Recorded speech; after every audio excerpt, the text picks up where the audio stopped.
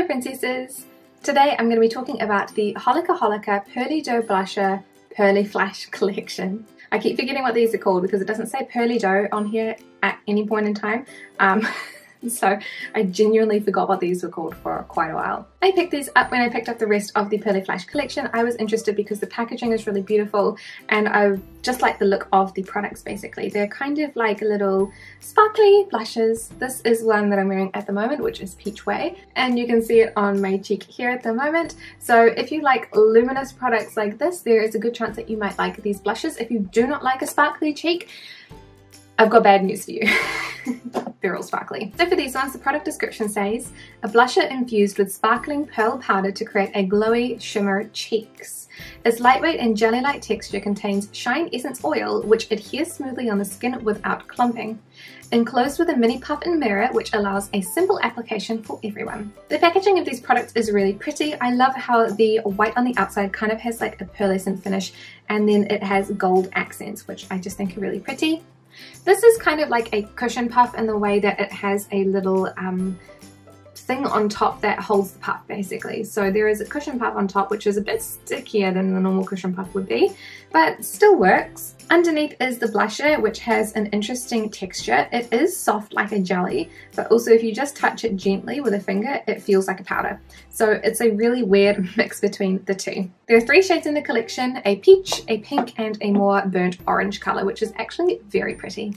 So I already have number one, Peach Way, applied to the skin, so I'm not going to reapply it, but this is how it looks. This one is the most subtle, so the hardest one to see, but you can definitely see how luminous it looks on the skin. You can see like a little bit of a small line there.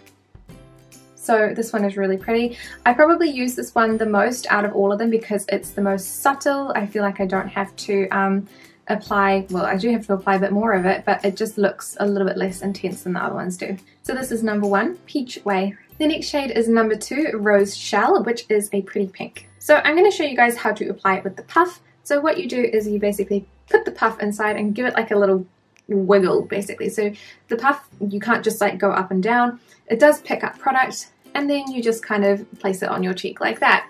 That is probably a little bit too much for today, but that's okay.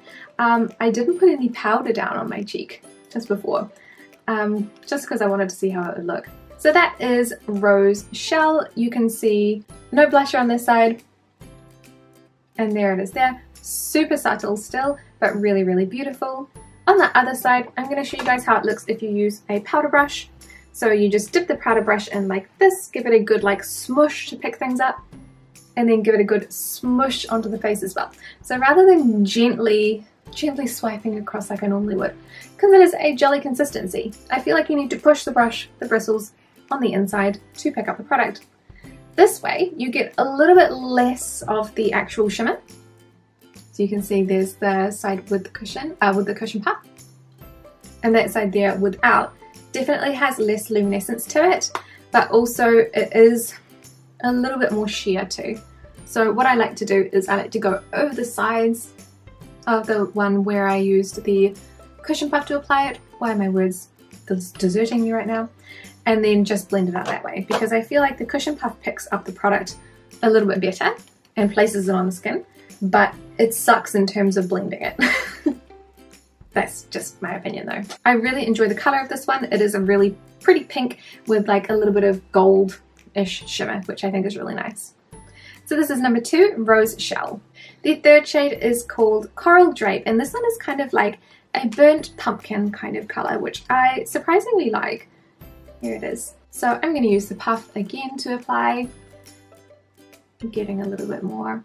You can layer these up, which is pretty good. So you can get a more intense color if you want to. Um, the more you put on, the more sparkle you're going to get. So just be wary of that. If you want something that's really, really pigmented, you're also going to get the shimmer that comes along with it. So this one is really pretty. I actually really like it a lot. So this is the cheeks without. And then with, so I'm going to apply the second side as well. And then I'm actually going to zoom you guys in to show you what the actual close-up and the glitters look like. Although the lighting is terrible because we're in that weird part of the um, time of year where it's going to be daylight saving soon. So like I can film until later, which is lovely, but the lighting is really kind of like in the wrong place. So there's still sunlight, but it's just not shining into where I would like it to.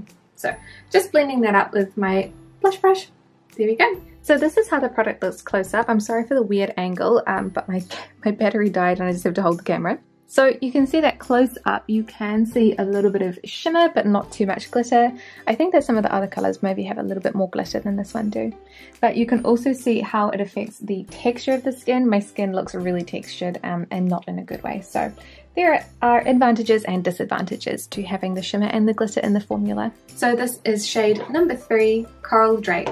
So for these blushes, I like them, but they're not for me for reasons that I will get into in just a little bit. So let's start out with the packaging. I think that the packaging is a little bit bulky for the product because it does contain that cushion puff. Because it's containing a cushion puff, I do like that they have included the mirror as well as the little barrier, which I, I need a better word for this thing, this little plastic thing that lets the cushion puff sit on top. It does mean that the collection is quite big. So this is how big all three of them are. When you put them into your collection, if you have a bigger collection like me, it's going to take up a fair bit of room. So for me, that makes it me really have to decide if I really truly love these. Um, because I would need to make space for them. colors are really beautiful. I think that all three of the colors are really beautiful. They're pretty, they look nice on my skin, and they work really well. So I have no problems with the color range. I think that they did a really good job picking the colors for these ones, and they all look lovely. The application is the part that gets me a little bit. There are two ways to apply them. There is the first way which is using the cushion puff. This way you are going to get the most shimmer or glitter on your cheeks, but you are going to get a less blended line. The second way is to use a powder brush. This way you're not going to get as much of the uh, powder or the uh, sparkles the luminescence on your cheeks because the powder brush is going to kind of flick it away a little bit. It's harder because you have to pick up more of the product and it's a jelly-like consistency so it doesn't work quite as well but you do get a better blend. So I personally would be putting them on with the cushion puff then using a brush to blend around the outside. That is what works best for me, but it does mean that you have to use two things, which I think is a little bit annoying, um, but it is a jelly-like application, so that kind of just comes with the territory sometimes. In terms of longevity and the way that they look, they do last all day. I have no problems with the longevity and I haven't had any weird smudging. In terms of how they look though, they are very luminous, very luminescent. Um, the colour of the blush is not that pigmented, so I have to work really hard to get the colour to show on my skin. And when I do that, I get a lot of glitter and a lot of sparkle. For me, I think it's cute sometimes, but a lot of the time, I feel like it's too much for me. Um, it makes my skin look a little bit more textured, so if I'm getting the sparkles or the luminousness, luminescence uh, in this part of the skin here where I have more pores, so right beside my nose, kind of like where my pupil is, um, it doesn't look good. It looks kind of aging on me, so it's definitely not the right formula for everybody. However, it does feel nice, like it's not sticky or anything.